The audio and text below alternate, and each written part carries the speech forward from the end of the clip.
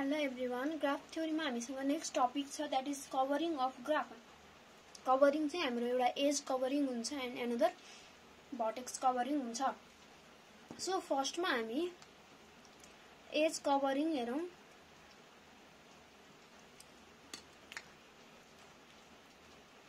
in a graph G a set of edges edge is set to be a cover एजको यस्तो सेटलाई cover भनिन्छ जसमा चाहिँ एभ्री भर्टेक्स चाहिँ त्यो एजको जुन कभर हुन्छ त्यसमा चाहिँ इन्क्लुड भएको हुनु पर्यो set of edges that covers a graph G भनेको त्यसले एभ्री भर्टेक्स कभर गरेको छ कुनै पनि एजको सेटले भने एज कभरको सेटले भने त्यसलाई चाहिँ हामी के भनिन्छ?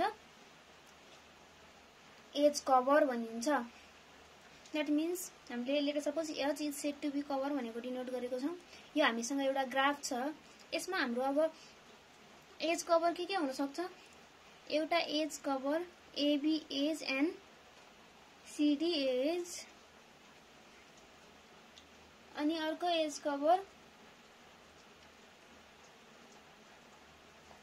सरी हामी यो ग्राफ चाहिँ यस्तो बनाइदिउँ।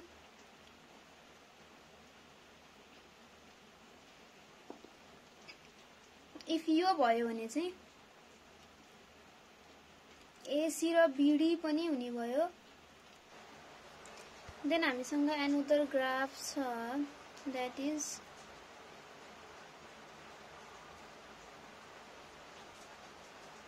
A B C D vertex यसमा अब हामीसँग पोसिबल कभरिङहरू बनाउँदै जाँदाखेरि यस वान कभरिङ गरौँ एउटा। त्यो चाहिँ हाम्रो एडी एन्ड बिसी एडिबिसी जसलाई अल भर्टेक्स चाहिँ कभर गर्नु पर्यो हाम्रो कभरिङले भन्ने हामीलाई थाहा छ देन देन अर्को के छ भने भर्टेक्स रिपिट हुन सक्ने भयो बट एज चाहिँ हाम्रो के हुँदैन यसमा? रिपिट हुँदैन। सो एनदर हामीसँग के हुनसक्छ? एबी सिडी एन्ड एसी पनि हुन सक्ने भयो। यो पनि एउटा कभरिङमै काउन्ट हुने भयो। देन एनदर हामीले A B B C and A D पनि काउन्ट गर्न मिल्यो भनेको। हामीले भटेक्स अल इन्क्लुड गर्न पर्यो बट ओन्ली ओन्स इन्क्लुड गर्न पर्छ नै भन्ने चाहिँ हुँदैन हाम्रो कभरिङमा एजहरूको थ्रुबाट बट के हुनु पर्यो? भटेक्स चाहिँ सबै कभर हुनु पर्यो। देन हामीसँग छ that is minimal edge covering if the edge cover become not an edge cover after removing some edge भनेको यस्तो एज कभर जसबाट चाहिँ एज रिमुभ गर्ने कुनै एज रिमुभ गर्ने बित्तिकै चाहिँ त्यो एज कभर एज कभरिङ बन्दैन भने देन त्यसलाई चाहिँ हामी के भनिन्छ? मिनिमल एज कभरिङ भनेको हामीसँग एडिबिसी छ हामीले बिसी रिमुभ गरिदियौँ भने हामीसँग त हल भटेक्स कभर भएन होल ग्राफ कभर भएन। सो यो पनि हाम्रो के भयो? मिनिमल एज कभरिङ भयो. देन यो केसमा एबिसिडी तर यो एसी रिमुभ गर्दाखेरि पनि हाम्रो एबी एन्ड सिडीले पनि हाम्रो कभर चाहिँ एज कभर बन्ने भयो नि यो पनि. सो यो चाहिँ के भएन? मिनिमल एज कभरिङ भएन. देन एबी बिसी र एडी एबी है? एबी छ बिसी छ एन्ड एडी छ. यसरी यसले होल कभर गरेको छ. बट हामीले यसबाट बिसी रिमुभ गऱ्यौँ भने पनि हाम्रो के हुने भयो? सी इन्क्लुड हुने भएन। एडी रिमुभ गऱ्यौँ भने पनि डी इन्क्लुड हुने भएन। एन्ड बिसी र एडी राख्यौँ भने चाहिँ फेरि के हुने भयो हाम्रो? यो मिनिमल एज कभरिङ हुने भएन भनेको त्यसले चाहिँ एज कभरिङ हुने भयो नि हाम्रो एबी रिमुभ गर्दाखेरि पनि यतिले पनि अल भटेक्स इन्क्लुड गर्यो नि यहाँ एबिसिडी सो यो पनि हाम्रो मिनिमल एज कभरिङ भएन. सो मिनिमल एज कभरिङ भनेको चाहिँ कुनै एज रिमुभ गर्दाखेरि पनि हाम्रो कभरिङ चाहिँ कभरिङ रहनु भएन. एन्ड मिनिमम एज कभरिङ छ। मिनिमम एज कभरिङ भनेको मिनिमल एज कभरिङ एज कभरिङलाई चाहिँ लाइन कभरिङ पनि भनिन्छ। So the minimal line covering with minimum number of edges minimal edge covering जसको चाहिँ एजको नम्बर चाहिँ के हुन्छ? मिनिमम हुन्छ भने चाहिँ त्यो के भयो? एडी एन्ड बिसी चाहिँ हाम्रो के भयो? मिनिमल एज क के अरे मिनिमम एज कभरिङ भयो। लेट सपोज हामीसँग यस फो यस्तो हुन्थ्यो है। A B A C A D हुन्थ्यो लेट सपोज भने।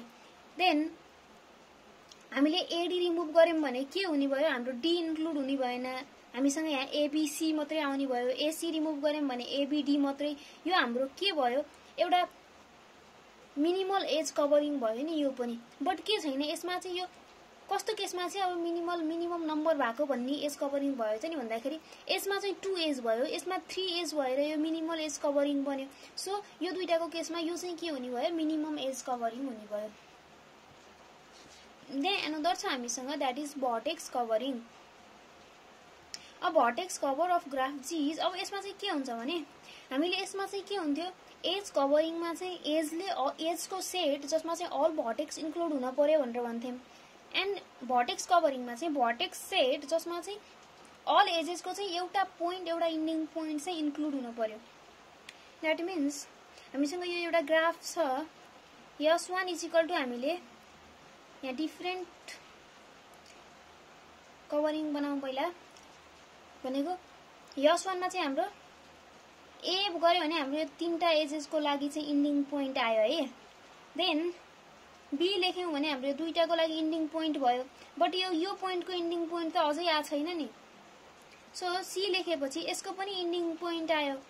देन यस टूमा बिसिटी बी भनेको हाम्रो यो दुइटाको इन्डिङ पोइन्ट आयो। सी भनेको यो तिनवटा एजको इन्डिङ पोइन्ट आयो। देन डी लेखेन भने त हाम्रो यो एजको इन्डिङ पोइन्ट त आउने भएन बोथ इन्डिया इन्क्लुड भएन। यसको त आइदर ए इन्क्लुड हुनु पर्यो अरू डी इन्क्लुड हुनु पर्यो। सो डी इन्क्लुड गरौँ। देन यस थ्री ए र सी हामीले इन्क्लुड गऱ्यौँ भने एमा बी र डी आउने भयो ए को इन्ड पोइन्टमा यो एजको सरी बी र डी भन्दा पनि एमा यो र यो एजको चाहिँ इन्ड पोइन्ट आउने भयो। एन्ड सीमा यो एजको इन्ड पोइन्ट आउने भयो भनेपछि सबै एज चाहिँ हामीले कभर गऱ्यौँ नि यसमा। So and S four is equal to हाम्रो यो अल पनि हुन सक्ने भयो। अब हामी यसमा हेरिन्छ। कभरिङ त यो सबै पोसिबल भयो vertex covering but minimal vertex covering भनेको यदि कुनै भटेक्स डिलिट गर्दाखेरि हाम्रो कभरिङ कभरिङ बन्दैन भने देन त्यो चाहिँ के भयो? मिनिमल भटेक्स कभरिङ हुने भयो। एबिसी ए रिमुभ गरिदियौँ भने के हुन्छ हाम्रो? बीले त यो दुइटा एज कभर गर्यो। सीले यो तिनवटा एज कभर गर्यो बट यो एज हाम्रो आएन। सो यो हाम्रो मिनिमल एज भटेक के अरे मिनिमल भटेक्स कलर कभरिङ भयो। यस टु हेऱ्यौँ भने बीले यो दुइटा कभर गर्यो सीले यो तिनवटा कभर गर्यो डीले यो दुइटा कभर गर्यो। भन्ने बित्तिकै हामीले यदि डी रिमुभ गर्ने बित्तिकै त हाम्रो यो एज आउने भएन नि यसमा पनि। सो यो पनि हाम्रो के भयो? Minimal vertex covering and A C एसीमा पनि हामी आइदर ए रिमुभ गरौँ अरू सी रिमुभ गरौँ। हाम्रो चाहिँ के हुन्छ यो? कभरिङ भटेक्स कभरिङ बन्दैन। सो यो पनि हाम्रो के हुन्छ? मिनिमल भटेक्स कभरिङ सो यसको example S one S two S three हाम्रो मिनिमल भटेक्स कभरिङ हुने भयो। देन मिनिमम भटेक्स कभरिङ भनेको चाहिँ स्मलेस्ट मिनिमल भटेक्स कभरिङ भनेको। हामीसँग यो तिनवटा मिनिमल भटेक्स कभरिङ आयो। जसमा स्मलेस्ट कुन छ S three so S three is the minimum vertex covering यसरी चाहिँ हामी मिनिमम म्याक्सिमम भटेक्स के अरे भटेक्सहरू कभरिङहरू एन्ड म्याचिङहरू चाहिँ गर्न सकिन्छ। म्याचिङ प्रिभियस भिडियोमा हेऱ्यौँ यसमा चाहिँ कभरिङ थ्याङ्क यू